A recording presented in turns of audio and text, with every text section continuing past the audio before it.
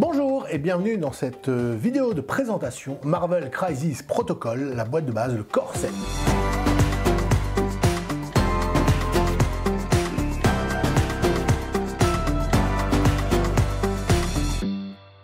Donc, c'est un jeu de figurines, comme vous en doutez, vous êtes sur la bonne chaîne, euh, dans lequel eh on va voir s'affronter des super vilains et des héros dans l'univers Marvel.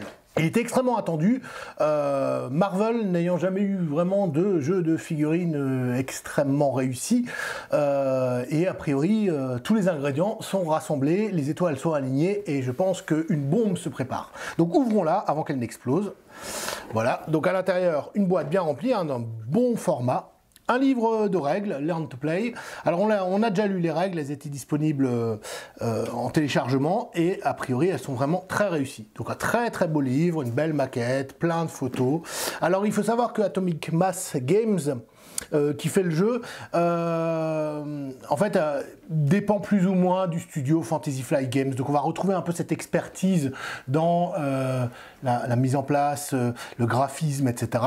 Mais ces gens-là viennent du monde de la figurine, donc on évitera d'avoir des trucs pas très beaux, comme parfois c'est le cas avec Fantasy Flight Games. Donc voilà. Donc on va pas présenter les règles dans cette vidéo, c'est pas le but, c'est un, jeu extrêmement moderne où justement le fait d'appartenir à un un groupe comme Fantasy Game permet d'utiliser beaucoup d'accessoires comme les cartes, etc., qui vont vraiment aider au niveau du jeu. Il y a des fiches de personnages qui résument toutes les règles, donc c'est extrêmement simple, c'est très didactique, euh, ça ne devrait pas poser de problème euh, d'apprentissage. Le, jeu est vraiment très très bon a priori, il y a, il y a plein de, bonnes idées, euh, j'en parlerai au fur et à mesure de cette vidéo. Donc vous avez un livre de règles complet, hein, avec tout, tout en un seul livre. Euh, c'est pas très très long, hein. il y a même le background à la fin des, personnages. Euh, vous avez tous les diagrammes et Comment assembler les figurines Puisque c'est des figurines à assembler, c'est des vraies figurines. Hein. Le figuriniste qui, qui en toi euh, le sait et on aime quand on doit assembler ces morceaux de plastique parce que c'est beaucoup plus fin et beaucoup plus détaillé que ces, personnages monoblocs. Donc voilà, vous avez tout ce qui est. C'est assez simple à assembler en final. Euh, j'en ai déjà assemblé une, j'ai pas pu résister. Euh, bah, ça s'assemble extrêmement bien. Donc c'est même pour des gens qui ne sont pas habitués au montage de figurines, honnêtement, un peu de colle plastique, euh, une pince coupante, et c'est très bien. Il y a des décors dedans, et ça montre aussi comment on les assemble. Bam On a une belle planche de pion, justement, quand on parlait euh, de la qualité du matériel, bah voilà, ça c'est typiquement un éditeur de jeux de plateau qui s'associe avec des gens qui connaissent la figurine pour offrir du matériel de qualité. Donc, plein de pions pour tous les états du jeu, etc. Donc on va pas, mais voilà, c'est bien fort épais, hein, fort épais, euh, donc c'est très bien. Les fiches de personnages, d'un fort beau gabarit, comme on dirait. Alors, euh, elles sont super chouettes, elles sont, en termes de graphisme, moi j'adore. Double face, euh, là on a le baron Zemo, hop, qu'on a là. Et alors, ce qui est intéressant dans le jeu, c'est que, bah, bien sûr, comme tout amateur de comics le sait, euh, plus on tape sur un, vilain ou un héros, plus il s'énerve. Et donc, quand il devient énervé, eh ben, il passe de l'autre côté avec des pouvoirs plus puissants. C'est normal. Donc euh, ça, c'est super fun. Avec en plus, alors là, la, touche quand même trop trop classe, c'est qu'on remarquera que l'illustration n'est pas la même. Et ça, c'est bien. Donc on a Captain America, Black Widow, euh, Captain Marvel, Crossbones, Doctor Autopus, Iron Man, Red Skull, Spider-Man, et Ultron dans la boîte de base. Donc 5 gentils, 5 méchants. Ça suffit à commencer la collection, déjà à s'amuser en termes de peinture et euh, de former des équipes pour le jeu. Donc ça c'est vraiment très très sympa. C'est une boîte qui, euh, revient autour de 100 euros. Euh, moi je je pense qu'il n'y a aucun problème à l'acheter à deux avec euh, un gars qui prend les, vilains et l'autre prend les super-héros. On a la cabale d'un côté les Avengers de l'autre, ils appartiennent à des groupes, donc euh, très très bien pour ça. Donc euh, plein de fiches de personnages, elles sont bien, elles sont cartonnées, elles sont assez épaisses, c'est très très bien. Plein plein de figurines, ouais C'est la fête, c'est Noël déjà avant l'heure. Donc sous grappe, figurines plastique, rigide, hop, on va ouvrir comme ça. Ça c'est des décors, on a des lampadaires, on a le Daily Bugle, euh, qui est ici. Donc là, on a euh, des feux de croisement, ça c'est super chouette. Hein. ça c'est la façade du, euh, du, kiosque à journaux. Le Daily Bugle, hein, que tous les fans de Spider-Man connaissent. Donc c'est déjà super chouette d'avoir mis des décors dedans. Et on a encore des décors et des figurines à nouveau. Alors on va pas s'arrêter dessus, mais hop, voilà pour que vous voyez un peu à quoi ressemblent les grappes hein, sous cette forme. Donc vous voyez, les personnages sont sur des grappes à chaque fois.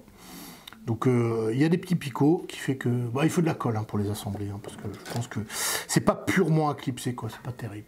Il faut de la colle plastique, mais ça, ça s'assemble extrêmement bien euh, en termes de production, c'est de la grande qualité. Il y en a plein, alors là il y en a plein, il y a plein de figurines, donc euh, voilà c'est super. Les socles, alors les socles moi j'ai kiffé, j'ai adoré les socles parce qu'ils sont super détaillés. Alors attends, on va les approcher de la caméra pour que vous voyez bien. Regardez ça, c'est super magnifique ça, des socles comme ça. Hein. Ça, c'est grand symbole de qualité. Il y a même des petits trucs, des bins là collés sur les socles après. Il y en a déjà un que j'ai enlevé parce que j'ai monté une figurine, je vous l'ai dit. Donc encore des décors, il y a des, des bagnoles. Ah oui, il y a même des voitures dans la boîte de base. C'est super. Voilà, c'est Noël. C'est trop trop classe.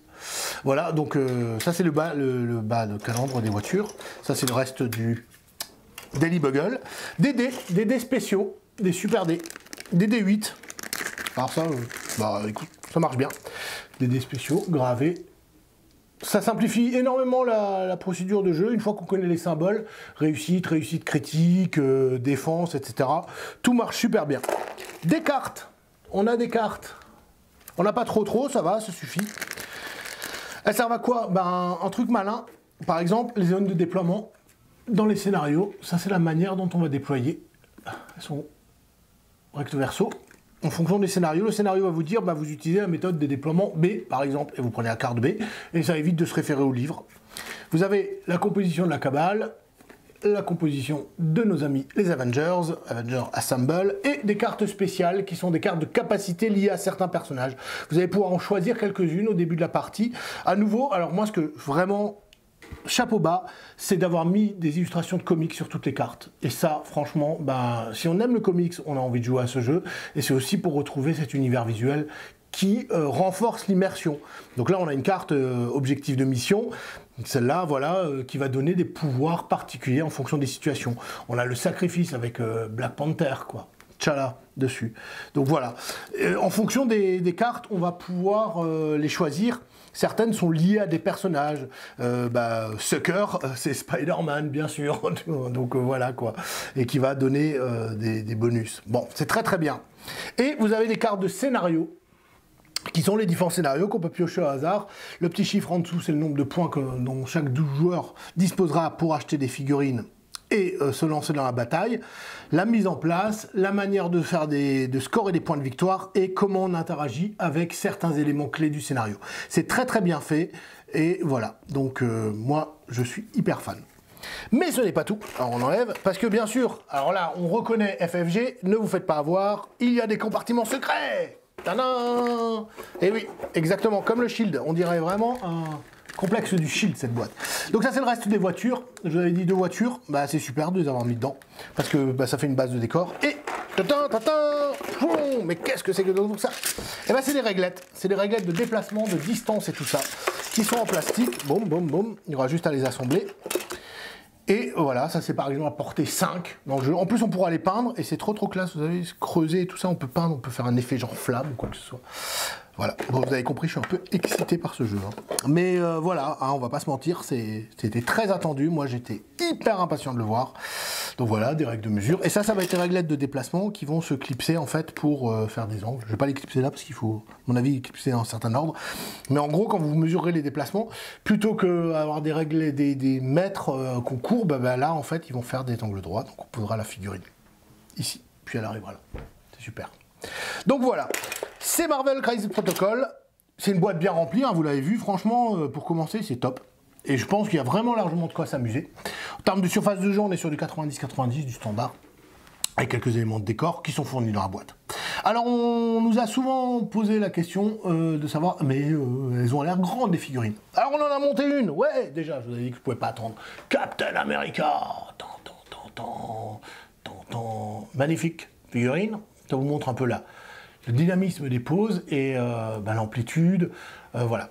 Alors, si vous jouez déjà à Batman, comme moi, euh, bah, vous avez déjà plein de décors et vous avez envie de les réutiliser et vous vous posez la question, mais non, mais ils vont être tout petits mes décors. Bah en fait non, ça va. Ils sont un peu plus massifs, les proportions sont un peu différentes, mais bah, je pense que les décors de l'un iront très bien pour l'autre. Donc si vous avez déjà une ville Gotham, bah, vous allez pouvoir importer des Avengers là-dedans. Et réutilisé, parce que le jeu de figurines, c'est beaucoup de réutilisation, et c'est ça qui fait que c'est chouette. Donc voilà, donc les, je pense que les, vraiment les décors dans les deux jeux sont super compatibles, donc il faut pas se priver. C'est une boîte de base où vous avez tout ce qu'il faut pour commencer. Il y a déjà des packs, il y a Hulk qui est disponible. Oui, Hulk. Euh, obligé. Hein. Euh, voilà, le jeu a vraiment l'air très très bon. Moi, je vous en parlerai encore là sur le, Facebook parce que parce qu'on va pratiquer. Euh, on va vous donner notre ressenti, mais à la lecture des règles, ça sent super bon. C'est de l'anglais hyper simple. Hein, je veux dire, voilà, c'est de l'anglais de comics, quoi. Donc c'est pas de la littérature, hein, faut pas déconner. Et donc voilà, c'est abordable. moi, j'adore. Les figurines me font kiffer et je pense que vous allez en entendre parler. On vous laisse et puis euh, à bientôt pour d'autres vidéos. Ciao